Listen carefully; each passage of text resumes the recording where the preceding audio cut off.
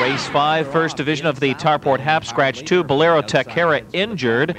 Faster Boots, her second start back. In solid, grounded Gamely. French Panicure just missed in her last three. Fourth and dropping in on the inside and now going on a break a bad break there from faster boots french panicure had to check and swerve to avoid her and the gate breaker dominatrix has moved up into sixth faster boots is still on a break and trails the field they head toward the opening quarter and up on the outside it's i've got the blues to press in solid front panel in 27 seconds flat Trying to reel her in is gaining some ground. Dominatrix racing in third. Mary Sue Hanover digging in, but French Panicure is charging hard on the outside, and she's taken the lead in mid-stretch, and it's going to be French Panicure to win it. Mary Sue Hanover trying to save second, and she does from in solid in 152 flat. Gets a perfect second over trip tonight. The life sign filly overcomes a three-race case of second-itis by gunning down a stubborn Mary Sue Hanover. A horse Brennan opted off tonight. It's a lifetime best for the Brett Pelling trainee,